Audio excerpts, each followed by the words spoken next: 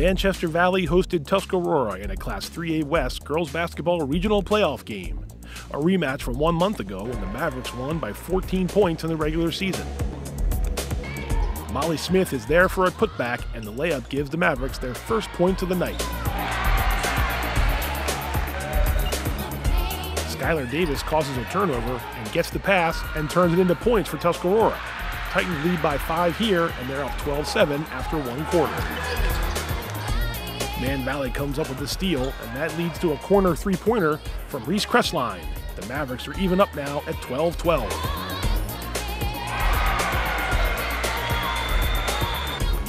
The Mavs are in control in the second quarter, and Haley Bittinger ends it with a nice layup. Give the assist to Ariana Leach, and Man Valley leads by seven at the break. Tuscarora is rallying in the third. Laney Barton rattles in this three pointer, and the Titans close the gap. Davis scores off the inbounds play and draws a foul, and after the free throw, it's 27 all late in the third. Tuscarora ends the quarter on an 11 1 run, and the visitors lead 32 28. Now it's the home team with the hot stretch. Smith makes some room and connects for a three. Manchester Valley up by one.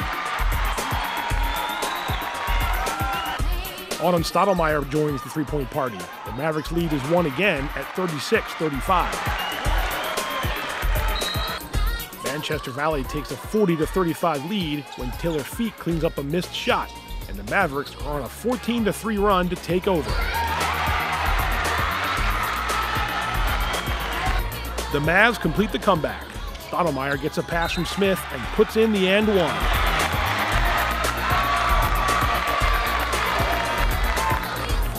Final score is Manchester Valley 56, Tuscarora 44.